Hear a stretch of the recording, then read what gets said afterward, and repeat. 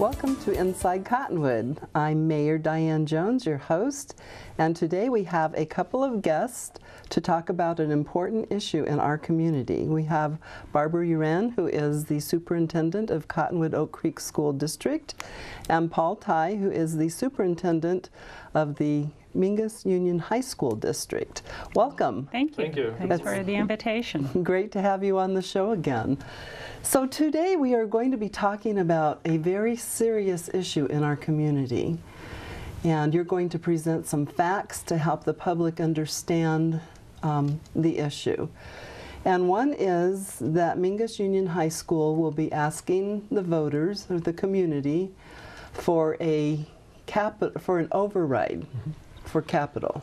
Yes, so it's technically um, been renamed District Additional Assistance. District Um, It used to be called Capital. We still refer to it as Capital because it's restricted for capital Mm-hmm. items, and I'll explain what that means. But um, it'll appear on the ballot as District Additional Assistance. Okay. Um, I believe the legislature renamed it to make it sound like they're giving schools additional funds. Okay. so um, maybe politically charged a little bit.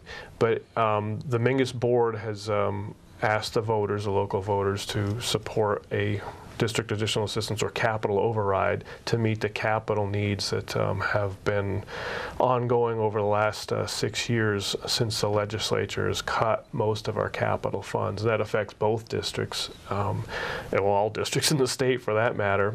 But um, we're operating at a million dollars less per year, not adjusted for inflation, than we did in 2008. About half of that is capital. And um, the Mingus board voted to um, ask the local taxpayers to backfill about half of those cuts. So this um, override would be for capital items about um, $500,000 a year to, um, to buy things. So you might say, well, what was last year's override? That was maintenance and operations, which is to pay for operating. And most of our operating, 85 to 90 percent of our budget is for salaries and benefits. We pay people to do things. And this is to buy things. So capital items, and the two funds can't go back and forth, so there are restrictions on funds. So these funds would be to buy things. So, So everything things, from school books, buses, buses. textbooks, desks, um, computers, classroom technologies, um, you know, things that are bigger than supplies. Um, would be considered capital items. So, you know, a chair is a capital item, a pencil is a supply, even though they're both things. Okay. And it's it's pretty regulated as to what you um, can spend it on. But um, you know, our bus fleet is uh, is quite old. We bought five used buses last year. We borrowed money to do so, and that. Um, you know, two of them are broken down already. So it's Two of the five. Yeah, those you are were newest telling, You were sharing that you have one bus that you really need, uh, and you're you have it in the shop for a twenty thousand dollar Yeah. charge that you'll be receiving to repair it. One of those five new buses, the uh, you know the motor is blown, and Mm-hmm. it's uh, it. You know, it is what it is. It's out of warranty, and so um, rebuilding a motor and um, the emission system is a twenty thousand dollar expense. So it's Mm-hmm. at the international dealer in Flagstaff. But you know, those are the kinds of things that even you know that's that's one of our newest buses, and so Mm-hmm. One of your um, newest used buses, Yes, right? exactly.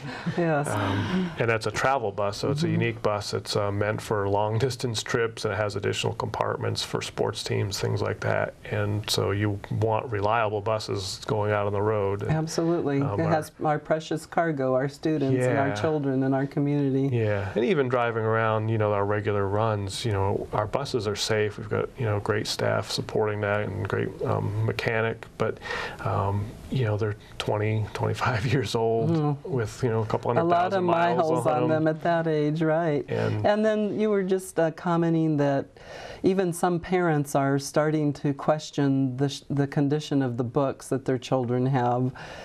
Yeah, um, you can only put so much tape on textbooks, and so you know every student I've talked to, because you know even when the board was deciding whether or not um, we should try for this election, they, you know, we involved students and staff and had them help identify some of the needs, and um, you know the kids were great in that they were like, oh yeah, our textbooks, you know, they're held together by tape. And you know, during the summer, we actually bring kids in to help repair textbooks, and we buy a lot of tape because the textbooks are so expensive and there's Right. no capital funding. Exactly. Um, our technology is aged. You know, the industry standard for replacement is um, three to five years, and you know, our most of our computers are about seven plus years old, and so some of the software doesn't run, the operating systems, and so you just have compound problems. It's kind of like you know a car. If you um, have a tight budget and you say, well, I can't buy a new car right now, I can keep driving, keep fixing it. Well, at some point, you know, the useful life of that um, piece of equipment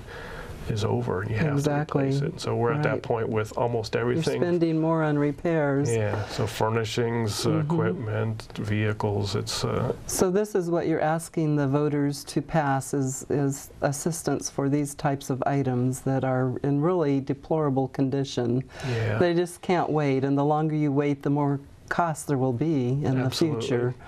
And there are so- campus repairs and security um, things too. It's, All it's a long list of needs for sure. Absolutely. So Superintendent Uren, you are asking for a bond. That's correct. And the difference, a capital bond for us is similar to what Mingus did about, I want to say it was about seven years ago. They asked the community for a capital bond to repair their buildings, which were in desperate need of repair at that time. And we're very proud of those buildings right now. I served on that group to help with that capital bond. And Mingus looks gorgeous. It and, does. uh, It's. It makes us very a proud. school that we can be proud of, all of our whole community. We really are. And uh, Cottonwood Oak Creek School District has not had a capital bond since 1995. We have been debt-free since 2009, and very similar to what um, Dr. Tighe is talking about with the Mingus needs, we have those needs as well. Pretty much ditto, ditto, ditto on everything he talked about with textbooks, technology, um, safety with our buses. Our average age of our buses is um, 17 years old, and the life expectancy really is about 10 to 15. So again, the expenses of repairing those is dollars that's taken out of the classrooms uh, to keep those running, and more often we're having those break down uh, with students not getting home on time because we have uh, buses that are broken down. But um, we need additional dollars for our buildings. We have six sites, uh, really seven sites that we maintain. And we could ask for uh, 10% of what's called our assessed value. That would be about 20 million. The governing board decided to go really prioritize that, knowing the needs of our community, and is asking the community for a 15 million uh, bond. It's like a mortgage on a house. Right. And um, those dollars will help repair our buildings. Um, we have in every building we have, we have leaks in our roof. Uh, the other day, we had one whole school out standing in the rain because we had a one of our roofy or our um, roof leaking, which then shorted out the fire alarm system, which is woefully outdated. We can't get parts for our fire alarm system anymore, but it did set it off. And so all the kids had to depart from their classrooms and stood in the rain while the fire department came and found the short and got it turned off and safely got our kids tucked back into the dry classrooms. We arranged again in another area. We had to relocate two classrooms because of uh, the roofs um, doing damage. So this is, um, we have some structural damage. Um, we have just aging buildings. We have buildings from 1923, uh, and our newest building that was built is Mountain View Preparatory at Tavasci, and that was in about 2002, 2003. So, So it's even 10 years old now. That's hard to believe. It just seems like It it's is. the new school. so we kind of call it vintage to contemporary. right, right. And then with your Cottonwood Elementary School District, those buildings, as I understand it, were temporary and were always meant You know, to be temporary. That's, that's really interesting because they were the main, uh, the bulk of the buildings at Cottonwood Elementary School, and really Cottonwood uh, Middle School as well, and some out at Oak Creek uh, Elementary School. Those were temporary buildings. Uh, I was visiting with a person who's actually doing some repairs at that building now, Mm-hmm. and he said. Didn't I go to school in this building? Wasn't it supposed to be temporary then? Right. He, And he so- was, he had the longevity to remember yes, that. Exactly Yeah. Correct. Okay, well, let's take a little break, and then we have a lot more topics to talk about to help the voters in the community um, understand more about our children and really some pretty desperate needs that we have at this time. Thank you. We will be right back.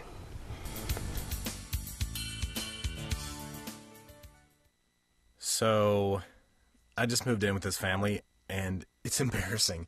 The little one, he likes to go outside and crawl around in the giant litter box. I don't know what he's doing. I mean, I was born and I knew how to use the litter box. Look at that! That's disgusting! Oh, poop already! You're making me nervous. Oh, okay, I can't look at this anymore. I really hope he grows out of this, for his sake.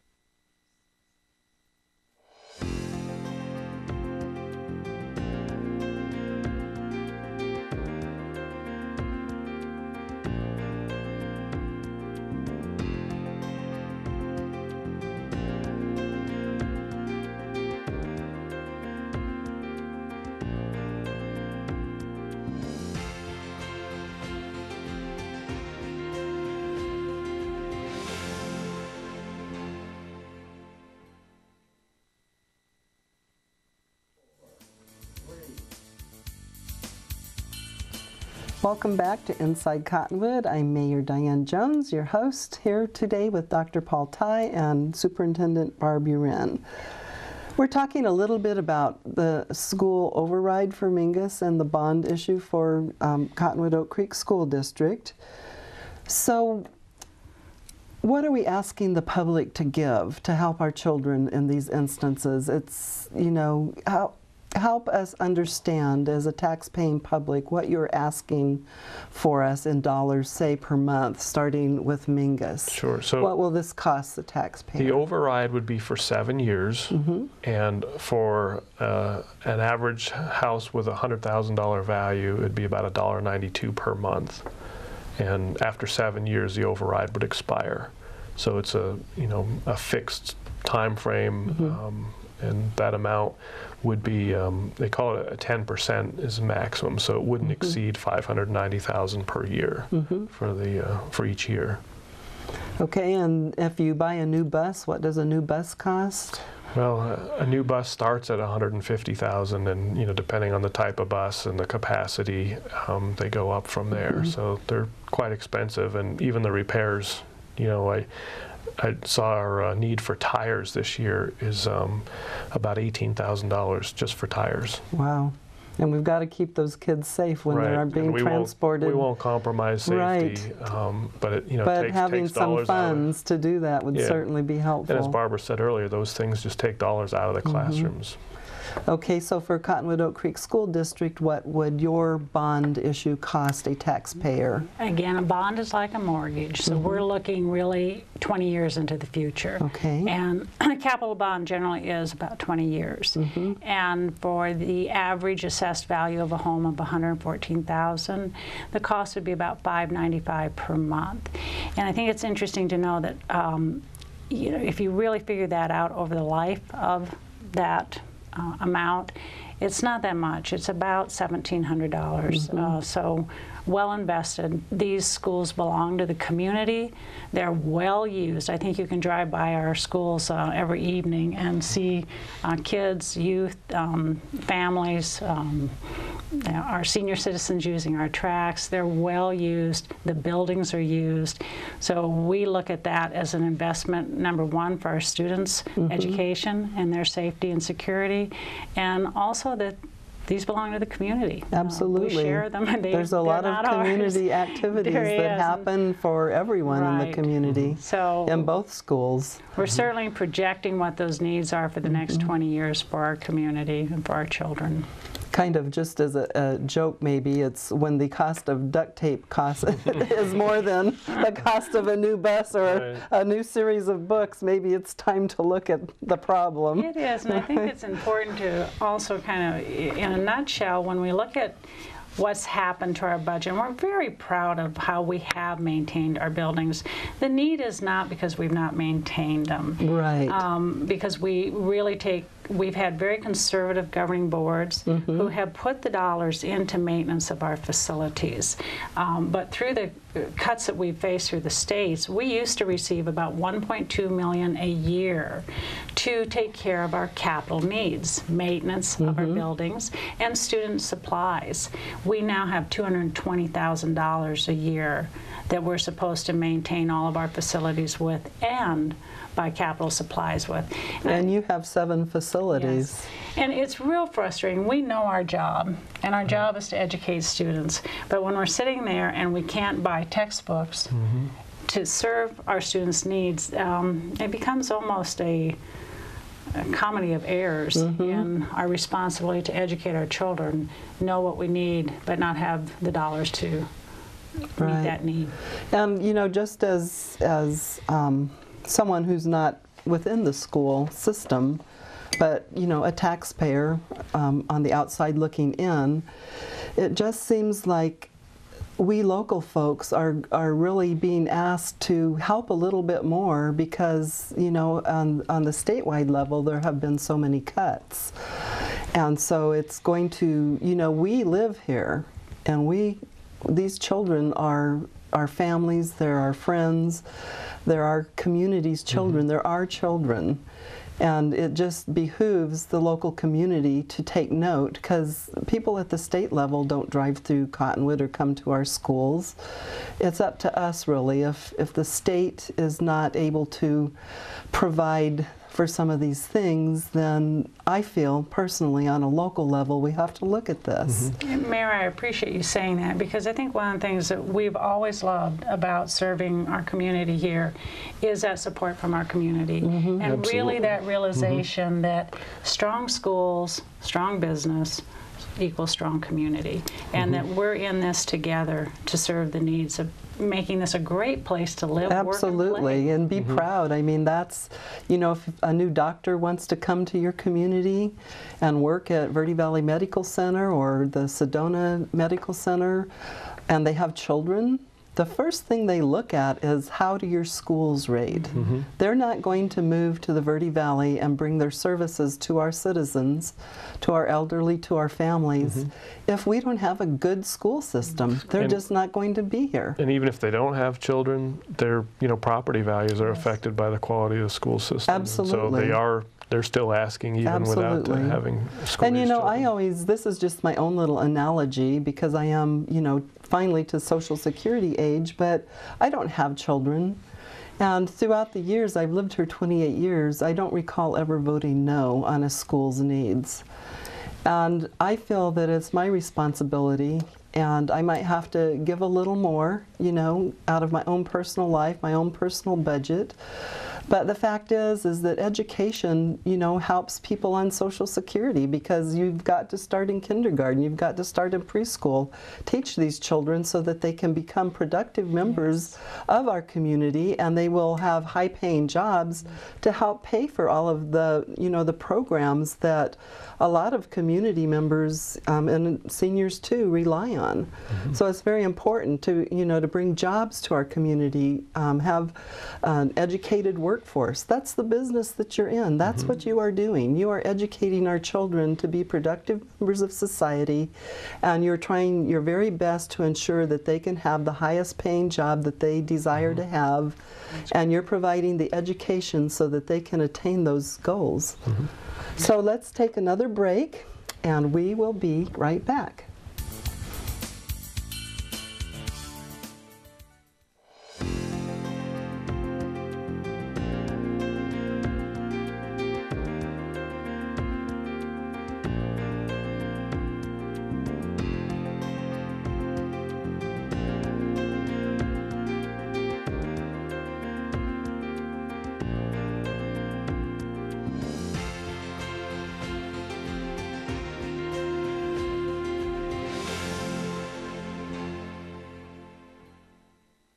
Next 30 seconds can save you a lot of money.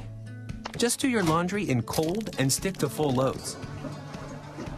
Auto sleep your computers. Plug your gadgets in a power strip and switch it off when you're done. Headed out? Turn back your thermostat by 10 degrees. And drive sensibly. The more energy you save, the more money you save. Find other great tips at energysaver.gov.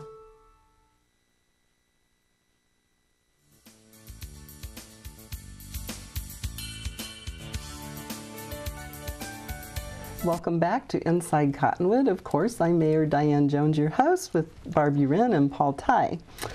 And they are in the leadership of educating our children. Let's talk a little bit next about this recent court decision that came down and the resulting litigation and how that might impact Mingus Union High School and Cottonwood Oak Creek School District. Sure. Yeah, we do. Well, there's um, been some ongoing litigation that um, was uh, the case is Cave Creek versus Ducey. So there's a consortium, but Cave Creek School District is um, the lead uh, plaintiff, and um, it stems back to Proposition 301 um, back in 2000 that required the um, state to fund, increase funding for education either at 2% or the rate of inflation, whichever is lower. Well, and since 2008, 2009, they stopped doing that. So there was litigation to, um, to require the legislature to fulfill voter initiatives. And so um, at every level, the plaintiffs prevailed that, in fact, you know, the legislature is bound to follow the will of the people. So, however, the state has appealed at every level. It went to the Supreme Court, and the Supreme Court ruled that, yes, in fact, the, the state is bound to fund um, what the, the voters approved.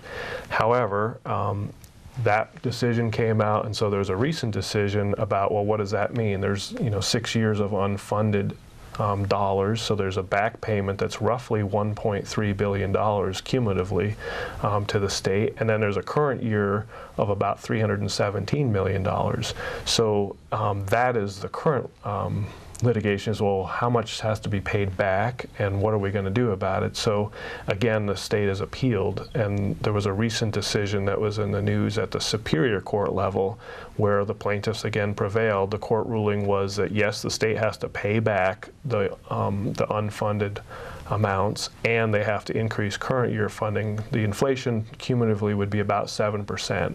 So um, that's roughly $317 million. Well, the governor even spoke and said that you know the state will appeal, so it's likely headed to the Supreme Court again.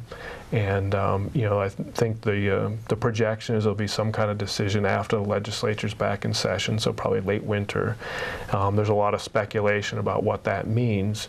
Um, one of the things that's happened in other similar cases with um, educational funding issues has been the state said, okay, we'll give you the inflationary increase, but we're going to take it away from here. So they move funds around. And so capital is a great example. We have to show on our budgets our capital allocation that resulted from a voter initiative with Students First money. And um, then we show the, the cuts. And so it has to still appear on the budget even though it's unfunded. So the allocations we talked about that we used to receive, which weren't necessarily adequate, but that's what we received, we have to still show them on our budget and then show the reduction in the budget. Um, so there's um, speculation that you know something like that may happen. There may be a settlement where, um, it's my understanding, the plaintiffs have offered that let's just forget about the 1.3 billion, the past dollars.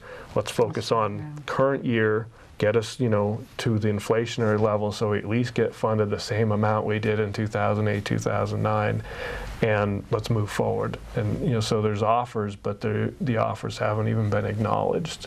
And then you're thinking about your $3 million or a little more than $3 million? Is 300 million. 317 million. 317. Three, se- 317 million statewide. And how many schools are there in the Oh, state? goodness. Hundreds and hundreds. 240 some odd districts, so Okay, a lot. districts. There's a lot of schools, so that would have to be divided up. And the schools Yeah. haven't received the 1.3 billion, so things Right. are crumbling. And there's It's- Yeah, it's no windfall. It's, you know, Yeah. roughly 7% of a base level support. Mm-hmm. Many anticipate that there will be a standoff. Many mm-hmm. anticipate that it, it comes in a base level support as mm-hmm. well.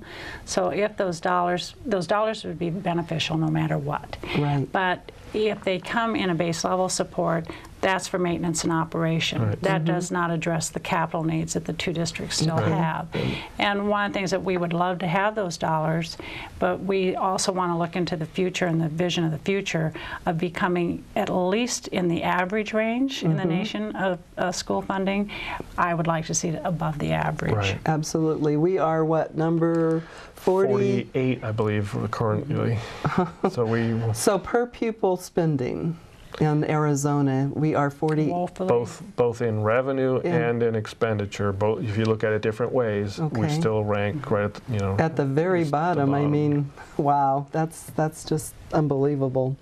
Okay, so even if the legislature should um, obey the courts, which in the past they haven't always done, right. That's That's the standard. right, yeah. um, then it still isn't going to make a school rich. Right, It's and still and a it struggling kind of impact. Right, and as Barbara said, it doesn't affect capital funding. Right. So the you know so the that's what these elections- these this bond and the Mm-hmm. override are about capital, and that would be. I mean, so if you got those funds, would that be teacher salaries? It can be stu- student programs, it Student can be teacher salaries, it can be, you know, we've cut so many, posi- our nursing, You have, so many of our like, the- programs are at the cost of base. utilities, the cost yes, of yes. insurance, and other things have Operating gone All up. those things go up, and yet And- funding goes way down. So Right. yes, everybody knows that their electric bill or any kind of utility, Mm-hmm. it's taking more and more to run those those businesses. So they go up, and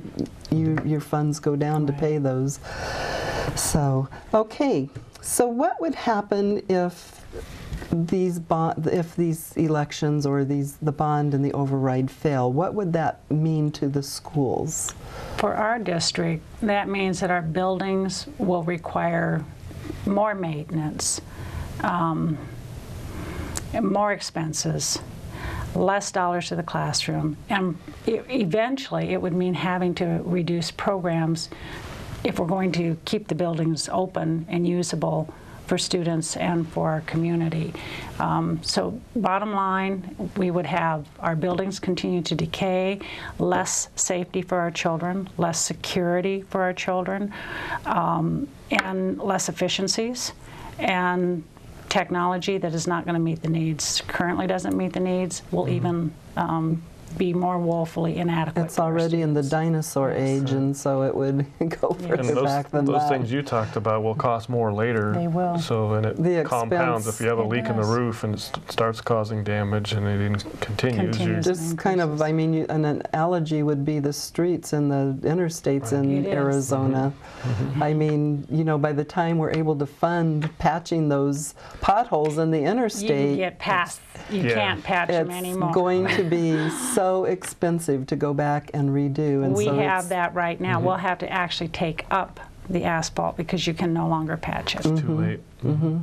So, Um, we're running into situations where you know we've had buses break at both districts have buses break down and the towing expenses you know it's just taking dollars away from kids and you know so neglecting these items you know textbooks that uh, you know the tape is there but it's not really you know working. Computers that don't run the software we need to have um, you know quality education for you know college and career readiness for all of our kids. It's, it starts to suffer. Kids are sitting in desks that are falling apart. We try to repair them and weld them and um, you know do what we can but it's become student safety issues and um, you know the longer we put it off the harder it is to, to ever catch up so you have a, a safe and secure environment where you know the world-class education which is what we both want for our right. kids And Mayor, just to summarize, for the capital bond, we're calling it BEST, Mm-hmm. Buildings, Efficiency, Safety, and Technology. Mm-hmm. That's where the dollars go. Okay. And that's why it's a capital bond, because we have the building needs in a greater degree than does Mingus Mm-hmm. High School District. and we're happy to show people what uh, what's you know happening and you know the, um, the Cottonwood Oak Creek District has tours arranged we have standing invitations for tours um, that our kids lead Right, so through. you probably could get on the cut, I, mine is a little more card here. one that's not quite as Whereas yours, yours looks a little nicer, mine's been through the mill. But um, we have, we're having what we are calling coffee, cookies, coffee, and children That's correct. at Cottonwood Oak Creek School District. And you can get a list of times. It'd be Monday, September 29th from 8 a.m. to 9 a.m. at the Oak Creek School. And then Wednesday, October 1st, 8 a.m. to 9 a.m. at Dr. Daniel Bright School. Friday, October 3rd, 8 a.m. to 9 a.m. at Cottonwood Middle School. Tuesday, September 30th, 8 a.m. to 9 a.m. at Mountain View Preparatory. Thursday, October 2nd, 8 a.m. to 9 a.m. at Cottonwood Elementary School. And you could probably see, find this list This on the internet, yes. on your On our website. website, yes, you can. And just get into Google and Google Cottonwood Oak Creek School Mm-hmm. District, and you can get this list. And then uh, Dr. Tighe, Mingus Union High School has a standing invitation to members of the community to come and visit the school. You have student ambassadors That's correct. who will take the public, uh, members of the public around and show them the school. And We're happy to do that anytime. Um, we started that last year, and it's been very well received. Um, in fact, even our, our boards, mutual boards, did tours of both uh, both sets of schools, um, both districts, and we had uh, we still have a lot of community members and even you know people from Phoenix area who come up and they're really impressed. So it's it's great, and the students do a super job. Uh, they're, Oh, they're proud of their school too. So if you would like to um, take a tour of either school, you can call the superintendent's offices and make those arrangements. So we're just hoping the public will come out and learn about our schools and our children and support our our schools, our children, our teachers. They're all very very well worth it. So today we will end with that's the way it is in Cottonwood.